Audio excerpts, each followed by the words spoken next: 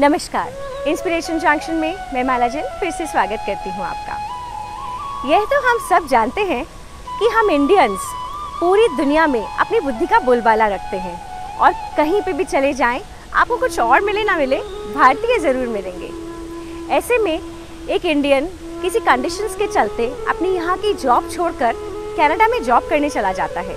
एक बहुत बड़े डिपार्टमेंटल स्टोर में, जहाँ पर सुई से लेकर कार तक अवेलेबल होती है। ऐसे में बॉस उसको जॉब पर रखने से पहले पूछता है, कोई वर्क एक्सपीरियंस है या नहीं? तो वो बड़ा सकुचाते हुए कहता है, जी सर, थोड़ा बहुत तो है। बॉस उसको एक ट्रायल डे के लिए रखता है और वह बड़े मन लगाकर पूरे दिन काम करता है। शाम को उसको वापस बॉस के सामने प्रेजेंट होता है और वह पूछता है, कैसा रहा आज का दिन? कितने कस्टमर्स क्रैक किए?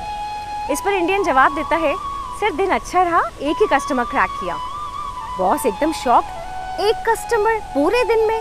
तुम जानते हो, मैं नए एम्प्लॉयज़ को रखता हूँ तो वो एक दिन में पंद्रह से बीस कस्टमर्स क्रैक करते हैं। तुमने किया क्या है आज? कितने की सेल्स बनाई? Sir ninety three thousand three hundred dollars अब उसका जवाब सुनकर सर फिर से शॉक था। इतनी बड़ी सेल एक कस्टमर से, ये कैसे पॉसिबल है? ऐसा क्या बेचा तुमने उसे?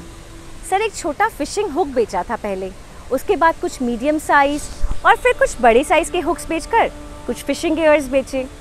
उसके बाद मैंने उनसे पूछा कि आप किस रीजन में जाएँगे फ़िशिंग के लिए? तो उन्होंने कहा, मैं कोस्टल रीजन की साइड जाऊँगा।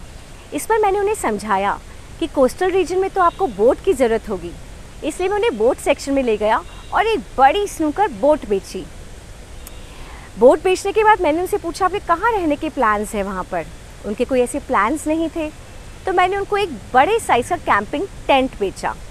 अब जब ये दोनों चीज़ें इतनी बड़ी थी और उनकी गाड़ी उसके अकॉर्डिंग की नहीं थी तो मैंने उन्हें कन्विंस किया कि आप गाड़ी चेंज करें। इसलिए मैं उन्हें कार सेक्शन में ले गया और एक बड़ी एसयूवी गाड़ी बेची। अब यह सब आ ही गया था। वो वहाँ पर इतना स्टे करने वाले थे तो कुछ डॉलर्स की उन्होंने ग्रॉसरी और ड्रिंक्स भी खरीद ली। बेचारा बॉस जो अभी तक ये शिकायत कर रहा था कि एक ही कस्टमर क्रैक किया, वो दो कदम पीछे हटा और सरप्राइजिंगली बोला अमेजिंग वाओ मतलब तुमने क्या मार्केटिंग स्किल्स शो करी है? आखिर वह कस्टमर क्या खरीदने आया था? एक फिशिंग हुक बस! इस पर वह इंडियन बड़े रिलैक्सिंग अंदाज में जवाब देता है, अजी नहीं सर फिशिंग हुक थोड़ी ना खरीदने आया था। वह तो एक सरदर्द की दवाई खरीदने आया था। वो तो मैंने उसे यह समझाया कि सरदर्द के लिए सबसे अच्छा उपाय है फिशिंग आप कहीं जाकर फिशिंग करिए और सरदर्द से छुटकारा पाइए। इस पर उन्होंने मेरे कहने से यह सब सामान खरीदा। बॉस उसकी स्किल्स का दीवाना हो चुका था और इंडियन मार्केटिंग स्किल्स को तो वो मान ही चुके थे। तो आप भी मानते हैं ना कि हम इंडियंस कहीं भी जाएँ, अपनी छाप छोड़कर ही आते हैं। कैसी लगी कहानी? ज़रूर से बताइएगा। तब तक के लिए bye bye take care thank you